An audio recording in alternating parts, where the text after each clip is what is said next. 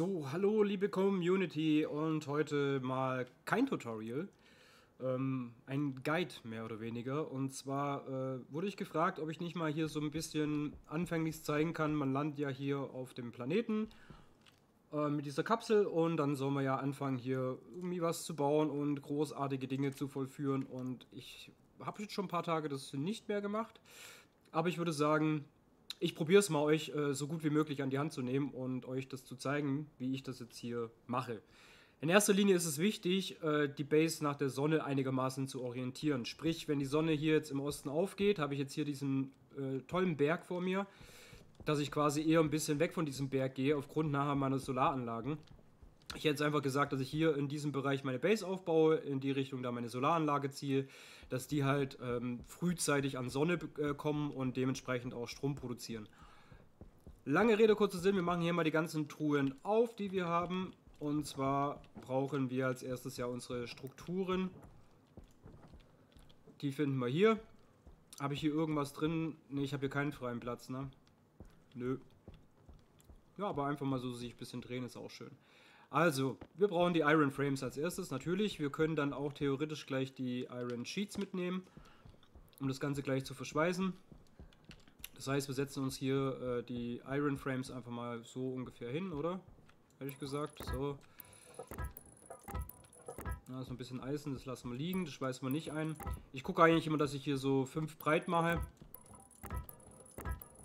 Und äh, dann nochmal 5 rüber. Habe ich jetzt 1, 2, 3, 4, 5, ja. Also ich zähle von dem Eck äh, direkt aus. Dann müsste es glaube ich auch mit den Sheets hinhauen. Äh, mit den Frames.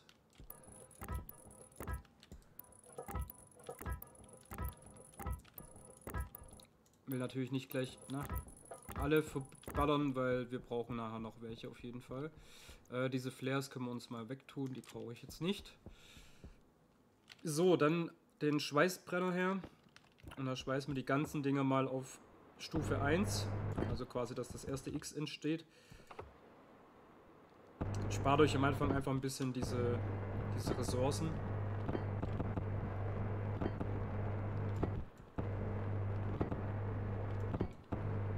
Ein herrliches Geräusch.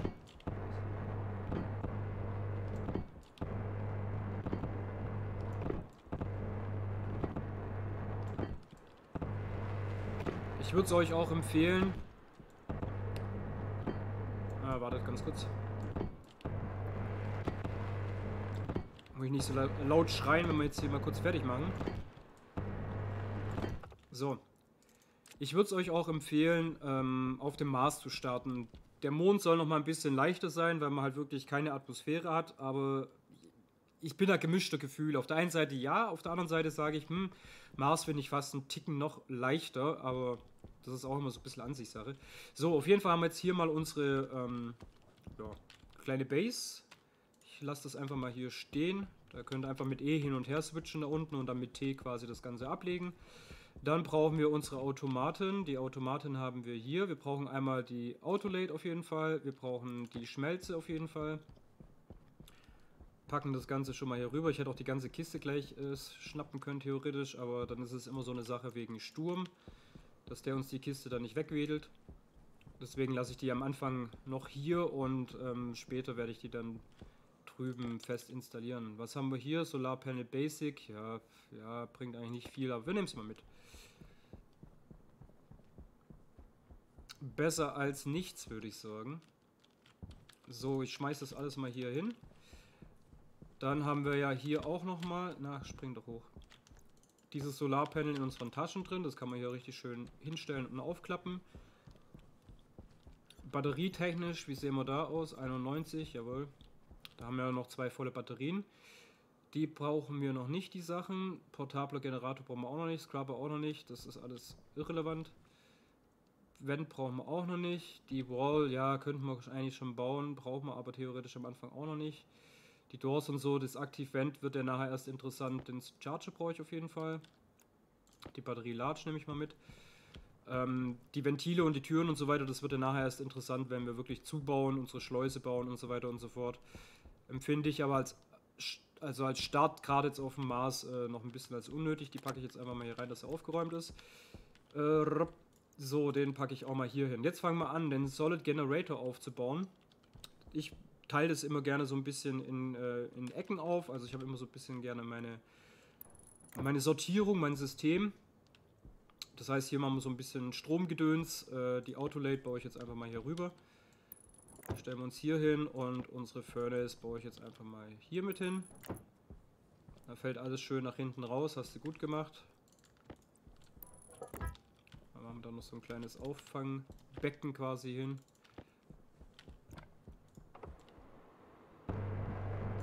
So. Aber ist ja jetzt bloß... So. Natürlich ist es jetzt so, ich habe das ziemlich weit auseinandergebaut. Ja, wir brauchen viele Kabel dafür. Keine Frage. Mm, das Ding können wir auch nochmal noch schnappen und das bauen wir uns einfach hier hin, diese Ladestation. Und dieses Solarpanel bauen wir uns jetzt einfach mal hier mit hin. Da gibt es ja einmal diese, die gewinkelt sind und äh, die flach sind. Ich würde jetzt am Anfang die, die flach sind, äh, benutzen. Ich habe das Empfinden, da bekommt man ein bisschen mehr Energie raus als äh, aus den gewinkelten. Wir brauchen jetzt als nächstes noch dieses Glassheet. Da tun wir mal jetzt hier diese Tracker-Karte rein, diese Pille. Ähm, den Atmo können wir hier reinschieben schon mal, da haben wir dann nochmal einen Platz frei. Das behalten wir bei uns und wir nehmen uns jetzt noch das Glassheet raus, Plastik-Sheet und was haben wir hier, die Wall.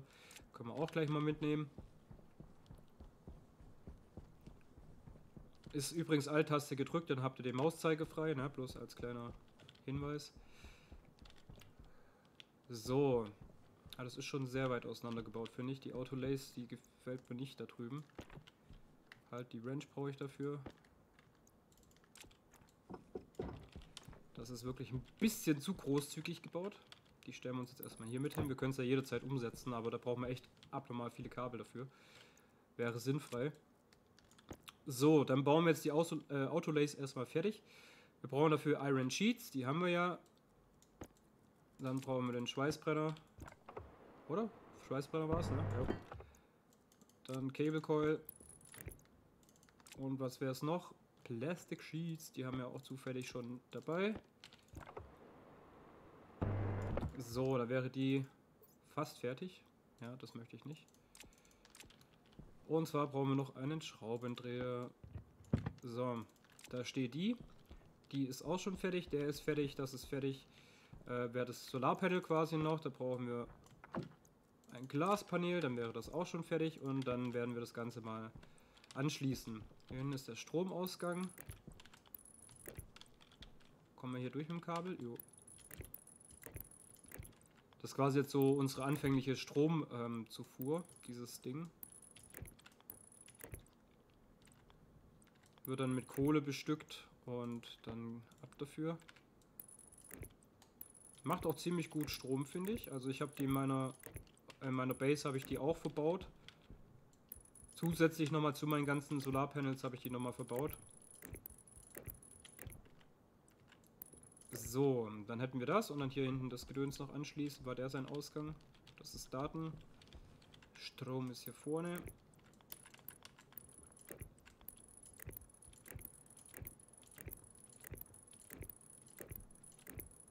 So, nice. Dann hätten wir das Ganze schon. Jetzt würde ich sorgen, können wir hier schon mal so ein bisschen die Wände einfach mal äh, dran setzen. Wie gesagt, Solar kommt alles nach draußen später, genauso wie der Generator. Die Furnace kommt eigentlich auch später raus. Ich würde jetzt einfach mal hier vorne anfangen, ähm, dass wir da auch eine Schleuse bauen können. Hier ein bisschen schön mit Glas, ne? Möchte auch ein bisschen was, was gucken. Und das ziehen wir uns jetzt einfach mal hier so ein bisschen provisorisch lang. Wir müssen das Ganze ja noch nicht fertig bauen. Bloß einfach mal so, dass wir ein bisschen eine Vorstellung bekommen von dem Ganzen. So, hier vorne würde ich sagen, machen wir dann die Schleuse hin. Da kommt hier die eine Seite hin, da die andere Seite. Und hier ziehen wir dann quasi nochmal hoch. Das heißt, die eine Fensterreihe kann ich mir sparen. Ja, jetzt geht natürlich das aus. Das ist dieses eine Auffangteil hier hinten. Das muss ich nochmal abbauen. Das war jetzt... Ah. Das ist immer schön, wenn man ein Tutorial machen möchte, ne? so Starter Guide und dann selber kurz ein bisschen ins Wanken gerät. Aber so ist es halt. So, das Fenster nochmal weg, das Fenster nochmal weg, das bringt uns dann nichts. Das ziehen wir gleich wieder hier oben hin. So, dann wäre schon mal der Grundstein gelegt. Wie gesagt, hier kommt dann nachher, ähm, das können wir auch schon mal zuschweißen, kommt dann nachher die Tür rein.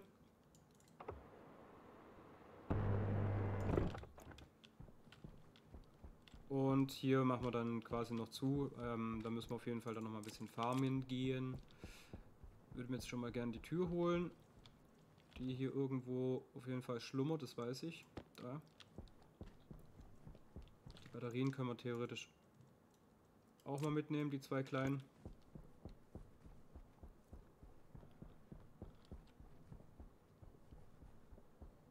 Dann können wir die nämlich schon mal hier reintun. Das Ganze schalten wir noch nicht ein. Weil es ist jetzt, glaube ich, auch so, wie ich das gebaut habe, ähm, weil ich ja keinen APC habe, den sollte ich nämlich auch noch holen. Weil wenn ich es jetzt quasi benutze, werden die Batterien ja leer gezogen von, von der Autolace und so, wenn ich mich nicht ganz täusche. Nee, ist falsch, was ich gesagt habe, dass es ja ein Charger ist. Äh, blablabla. Power Control, ja, genau, das hätte ich gerne noch.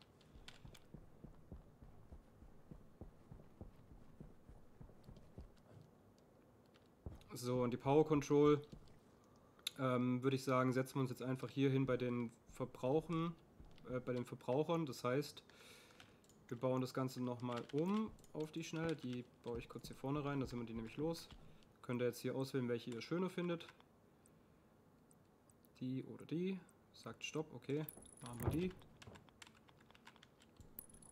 Immer mit den Anschlüssen nach innen, ihr wisst, das habe ich ja im Greenhouse-Tutorial schon gezeigt.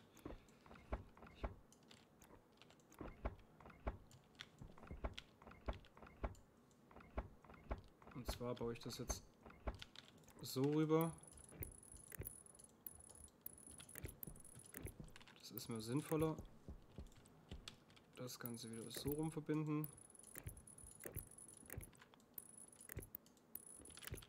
So, und dann setzen wir nämlich hier diesen APC, den ich jetzt glaube schon umgestoßen habe. Den setzen wir uns hier hin.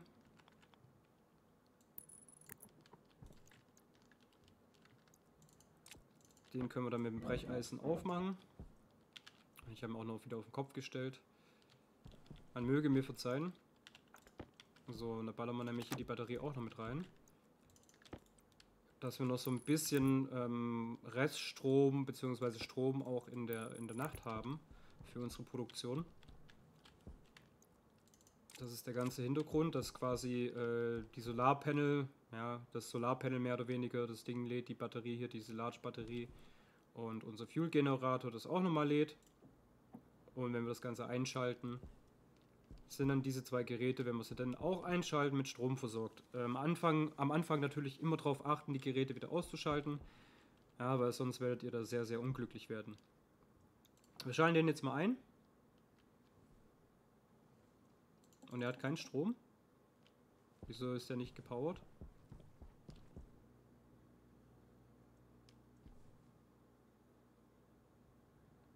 Glaube, ich erkenne meinen Fehler. Ja, seht ihr es? Die Pfeilrichtung war falsch. Ich muss natürlich auf die Pfeilrichtung unten achten. Und habe hier äh, das Ding falsch rum aufgebaut. So, jetzt funktioniert das Ganze. Also da einfach gucken, Datenanschluss ist quasi der Eingang vom Strom und dann mit diesem Stromzeichen, ja, den nochmal kurz zu, das seht ihr das besser, der mit dem Stromzeichen ist der Ausgang. Ich hatte es gerade falsch rum, deswegen kann natürlich kein Strom fließen. So, jetzt schalten wir das Ganze hier mal ein. Ähm, die Autolace haben wir. Als nächstes natürlich wäre der Electronic Printer interessant. Das heißt, wir müssen auf jeden Fall hier Eisen, Gold und Kupfer erstmal äh, farmen gehen und das dann hier in unserer Furnace schmelzen. Die können wir natürlich auch noch umdrehen. Ich glaube, das ist fast sinnvoller, da ich die jetzt ein bisschen bescheuert aufgebaut habe. Wir drehen die jetzt einfach so um, dass wir unseren Strom auf der Seite haben. Genau, einfach nur so mal kurz gedreht. Na,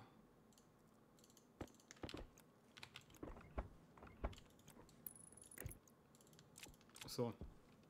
Weil dann fällt uns das nicht alles irgendwo hier in der Botanik rum. So, dann geht's ran hier Mining. Belt. Ihr habt aber noch, das kann ich euch noch kurz empfehlen. Das müsste man eigentlich schon in der Kapsel haben. Und zwar hier diesen ähm, Beacon. Das brauchen wir nach. Was haben wir hier noch? Small Flag, alles Mist. Diesen Beacon und wir haben ja noch hier, genau bevor ich weglaufe, das wollte ich nämlich auch noch mitnehmen, diesen, ähm, diese Tracker-Karte. Die nehmen wir auch noch mit.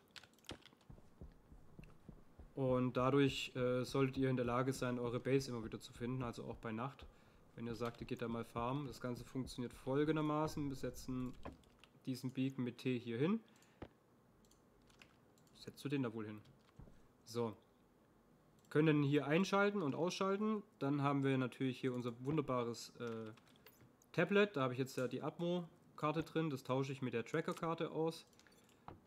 Und wenn wir den jetzt einschalten, dann zeigt uns diese Tracker-Karte, das Tablet quasi an, wo unser Beacon steht und wie weit es dahin noch ist. Also da haben wir so ein bisschen eine grobe Übersicht, wo unsere Basis ist. Natürlich äh, auf die Batterie achten, ist ja klar, wenn die leer ist, geht das Ding aus und ihr habt wieder die Information nicht, die ihr wollt. Aber das ist, denke ich mal, selbstredend. Jetzt werde ich das Ganze einfach so machen, dass ich hier ähm, einen Mount, glaube ich, kann ich einen Mount schon bauen? Ein Container-Mount, was brauchen wir dafür? Eisen, alles klar. Dann hole ich ganz kurz Eisen, weil dann holen wir uns, äh, bauen wir uns gleich so zwei, drei Container-Mounts. Da können wir nämlich die Container hierher ziehen und äh, können dadurch schon ein bisschen das Zeug da rein tun. Wieso zieht er mir das nicht in meinen Gürtel rein? Ah, got it. Weil ich den Gürtel hier im Inventar drin hatte und nicht als äh, Belt quasi hinterlegt, deswegen zieht er mir das nicht gleich in den Gürtel rein. So, dann haben wir gleich ein bisschen Eisen neben dran, ist doch immer schön.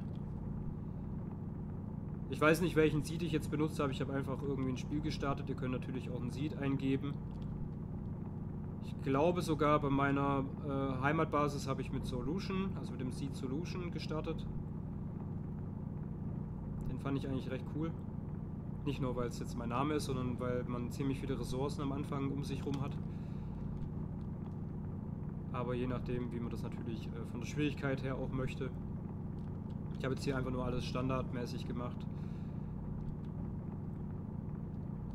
Oh, da kommt schon ordentlich was raus hier aus der Vene, ne? Oder Ader muss man ja sagen. Vene wäre falsch. Weil ich gerade wieder beim englischen Vein war, deswegen.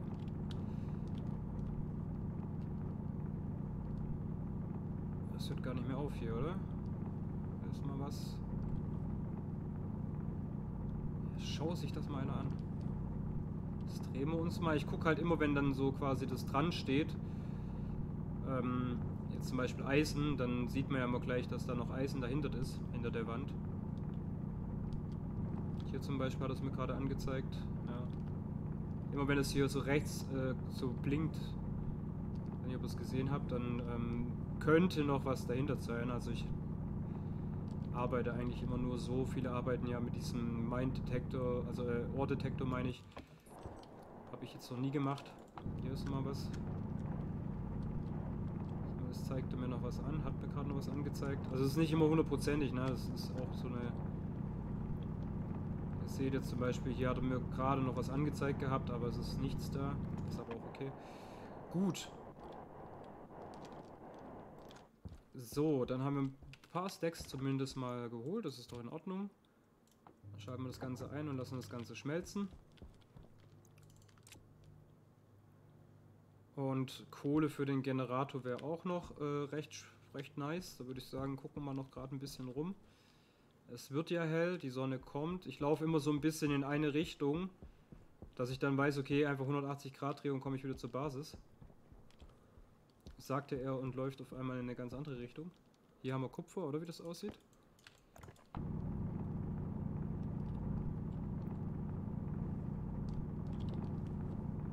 Das ist auch noch Kupfer. Ich dachte, das wäre gerade Blei, aber es ist auch noch Kupfer.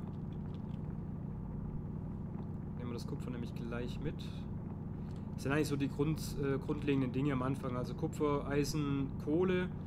Und wenn es dann natürlich äh, wenn es dann sich ergibt, dass es gleich im Umkreis ist, auf jeden Fall Gold. Wenn ihr das alles habt, dann seid ihr schon mal sehr gut ausgestattet und könnt dann schon mal so die ersten Schritte machen.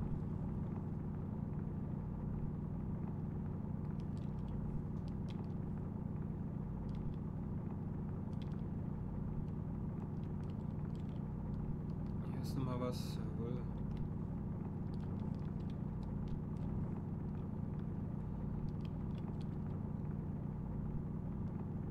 Ich habe jetzt gerade, bevor ich das hier äh, aufnehme, habe ich jetzt gerade nochmal die Rakete im Tutorial dazu gemacht. Da muss ich echt sagen, die Rakete, man ist einfach verwöhnt. Ne? Es ist wirklich ein Traum mit der Rakete, die äh, einem einfach alles holt. Aber jetzt hier wieder selber mit dem Bohrer quasi unterwegs zu sein und das Zeug abzufarmen, das ist schon wieder eine schöne Erfahrung. Lang ist es her bei mir. So, dann machen wir das Ganze aus. Und hier drüben haben wir noch ein bisschen Kohle, das würde ich gerne noch mitnehmen. Wir haben noch drei Stacks frei, jawohl.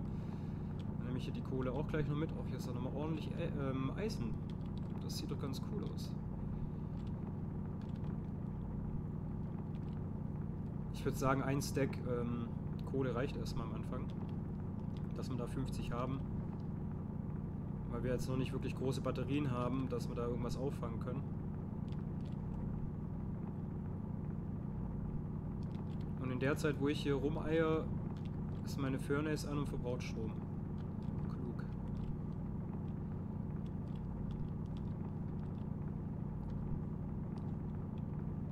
So, will ich hier nämlich noch das Eisen kurz mitnehmen? Ich lasse dann immer so einen Indikator noch stehen, weil es kann ja sein, dass, äh, dass in der Tiefe jetzt noch was ist. Da habe ich jetzt nicht nachgeschaut. Dass ich einfach nur weiß, okay, da ist Eisen und ähm, wenn ich nächstes Mal vorbeikomme, dann gucke ich da auch in die Tiefe. Jetzt muss man das Oberflächliche hier. So, das reicht doch schon. Das sieht doch schon mal nicht schlecht aus.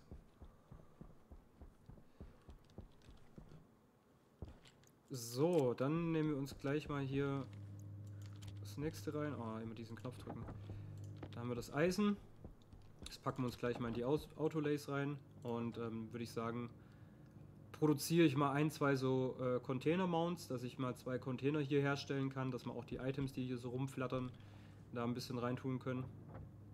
Nummer 1 packe ich jetzt einfach mal ja, hier vorne hin, wa? So, Nummer 2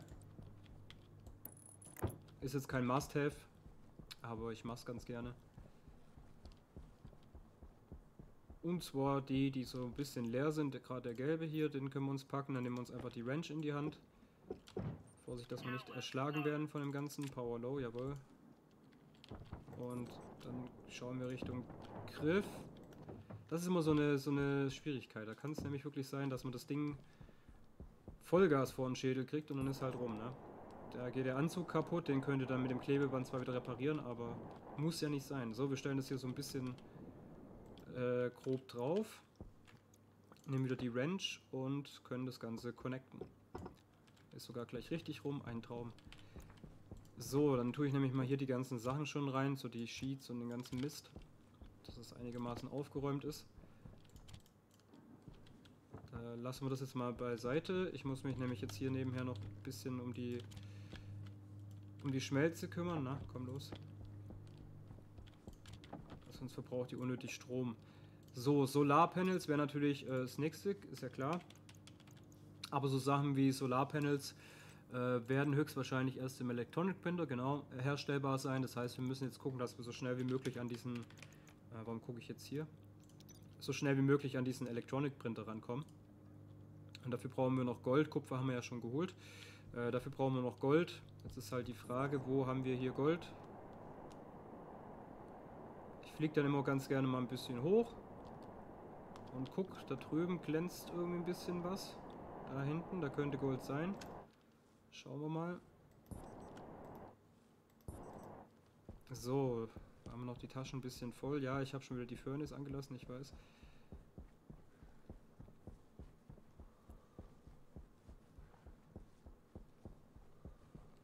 Das könnte doch Gold sein hier.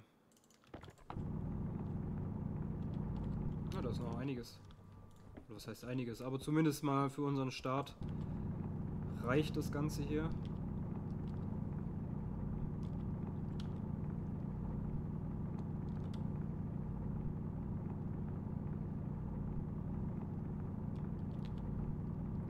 Und als nächstes dann halt auch gleich die äh, die gescheite Furnace bauen. Also nicht die Advanced, sondern diese. Ja, die nächste halt. Ich weiß jetzt gar nicht, wie sie heißt. Müsste ich gucken. So, jetzt kamen wir hier nochmal ein bisschen runter. Kohle, Kohle, Kohle.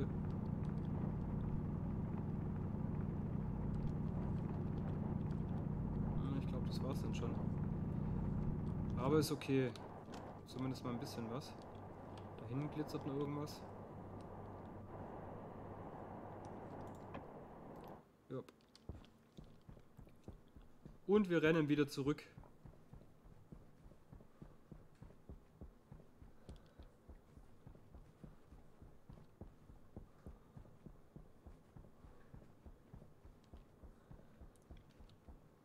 So. Ach, der schmelzt immer noch. Das ist ja gut. Kupfer dauert ganz schön lange, ne? Kupfer habe ich glaube rein jetzt, ne? So, dann kann ich hier nämlich noch dieses äh, Gedöns reintun. Der ist fertig, der wirft aus. Da tun wir hier gleich mal das Gold schmelzen. Ich vergesse immer diesen Knopf zu drücken. Mm, wie viel habe ich denn hier schon drin? Noch gar nichts. Ah, machen wir den Stack auf jeden Fall mal rein. Wie gesagt, Kupfer haben wir ja hier schon ein bisschen was am Start. Was haben wir denn hier, was wir brauchen? Das portable Zeug brauchen wir alles noch nicht. Dann haben wir hier diese Ventile drin, Sensoren, Diskette, das dann für die Schleuse. Hier haben wir unser Essen und Trinken. Beziehungsweise hier auch noch äh, Tische und so weiter, Mikrowelle, aber das brauchen wir alles jetzt nicht. Farben.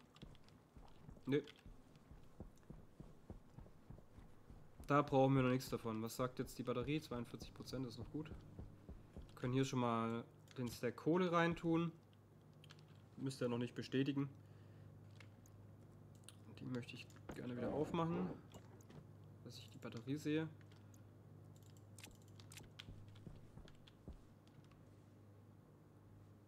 Okay, Solarpanel, ihr seht 13% Effizienz, obwohl es da hinten ist, die Sonne. Also ich finde das Flache ähm, von der Effizienz her am Anfang doch noch ein bisschen sinniger. Ich muss gleich bloß mal überlegen schon, wie ich das Ganze aufbaue. Ähm, dass ich hier vielleicht die Autolays herstelle oder wie auch immer. Oder wir stellen es so Rücken an Rücken, das können wir eigentlich auch machen.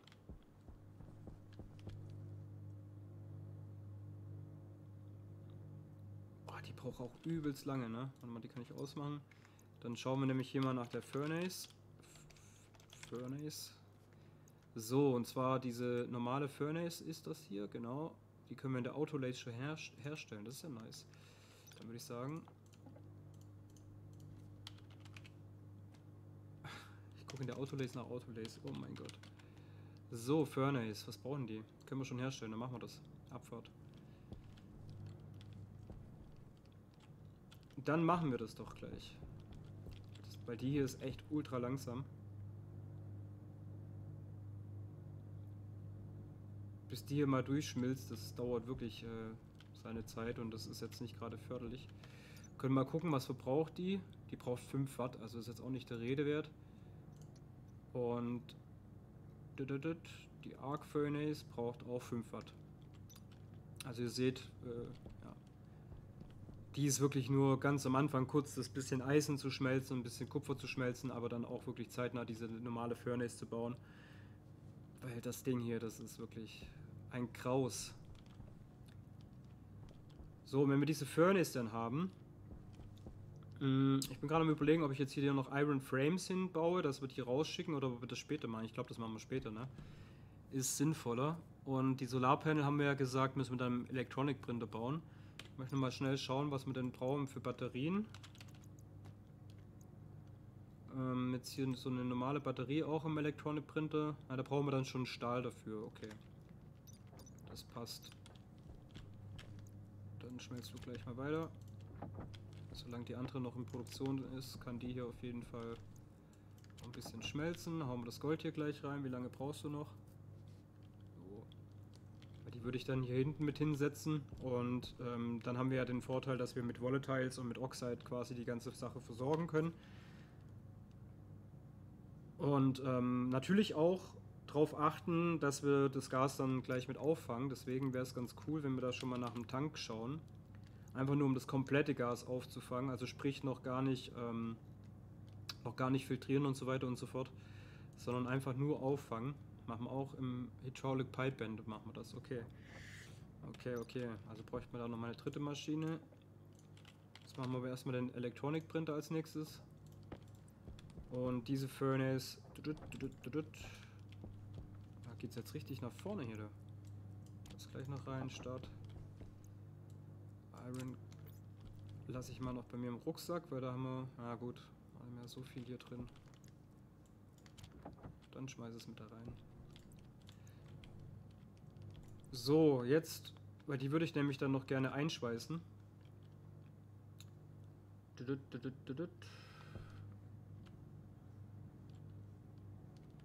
Wenn ich die einschweißen will, muss ich die ungefähr hier hin positionieren, dass ich nahe die Displays auch noch sehe. Deswegen störst du jetzt. Du störst.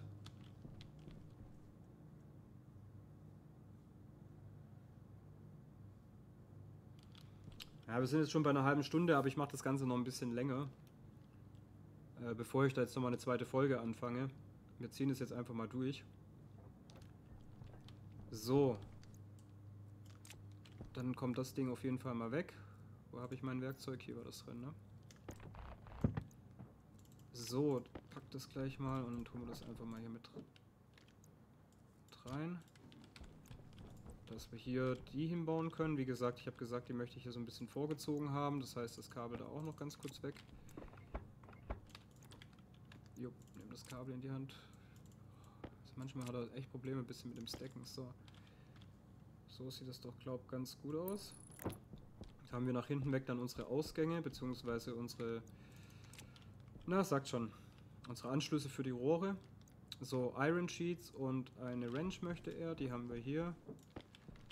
Und die Wrench noch rausgepackt, einmal montiert, dann brauchen wir nochmal Iron Sheets und Welding Torch. Und dann steht das ganze Ding schon perfekt. Ein Traum. Dann müssen wir das Ganze noch bestromen, oder? Nee. Gehört die nicht bestromt? Oder habe ich jetzt den... Ich, nee, die, die wird der gar nicht bestromt. Wieso sagt er mir dann an, dass die 5 Watt braucht? Weil die arbeitet ja nicht mit Strom, die arbeitet ja mit, mit Gasen.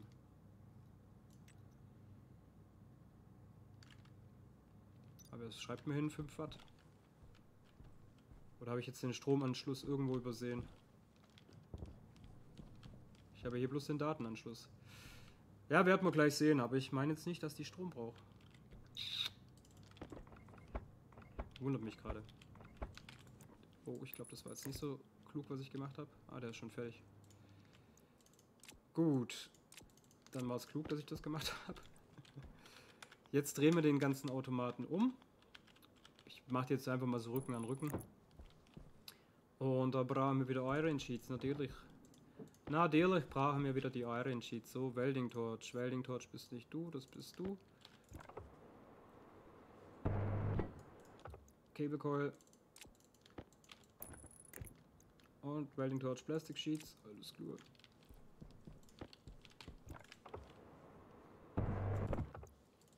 Und was brauche ein Screwdriver? Also, kannst du das mal bitte hier wegmachen, das Fensterchen? So. Schick. Dann haben wir das Ganze auch schon. Einmal anschließen. Um, um, um.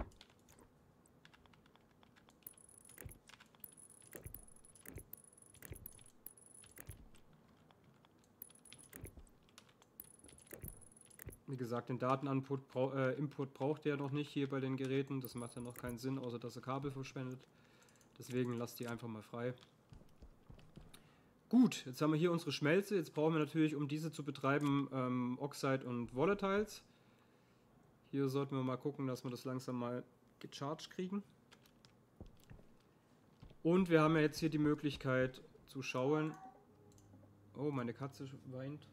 Arme, habt ihr sie gehört? Wir haben jetzt hier die Möglichkeit, die Solarpanels, und wir brauchen dafür Gold, Kupfer und Stahl. Stahl schauen wir hier im Stationpedia nach, indem wir einfach Stil eingeben und zwar hier Ingot Steel und dann sehen wir quasi die Temperatur, die wir brauchen, die ist ja recht entspannt. den Druck, äh, den wir brauchen, der auch recht großflächig ist. Und wir brauchen in dem Fall äh, ein Mischungsverhältnis von 3 zu 1, dreimal Eisen und einmal Kohle. Und das werfen wir dann quasi hier alles schön rein und dann können wir auch Stahl herstellen und wie gesagt dann diese Solarzelle äh, zu bauen. Die dann aber auch wiederum erst Sinn macht, wenn wir dann auch unser Solar-Tracking dazu bauen können. Aber da würde ich sagen, äh, bevor wir jetzt hier wirklich den Rahmen des Videos sprengen, ähm, machen wir jetzt hier einen, einen Cut. Und ich würde sagen, wir machen dann im nächsten Video weiter. Also ich werde euch so lange begleiten, bis ihr so einigermaßen äh, stabil dasteht in eurer Base. Aber ich denke mal, das ist schon mal ein ganz guter Anfang. Wie gesagt, ähm, wir haben jetzt schon mal einen Electronic Printer, wir haben jetzt schon mal diese äh, Furnace am Start. Das ist schon mal recht nice. Ja, ich bin zufrieden. Ihr auch? Wunderbar. Ich hoffe, das hat euch gefallen. Ihr konntet ein bisschen was damit anfangen. Und ähm, wie gesagt, ich werde hier nochmal ähm, ein, zwei Tutorials dazu machen. Ihr könnt mir auch gerne noch in die Kommentare irgendwas dazu schreiben. Wenn ihr möchtet, Fragen habt, Anregungen, wie auch immer, ein Daumen nach oben wäre natürlich super. Und äh, abonniert das Ganze, dass ihr natürlich keine Tutorials weiter verpasst. Und ich würde sagen, wir sehen uns bis zum nächsten Mal. Bis dahin, bleibt gesund und stabil. Euer Solution.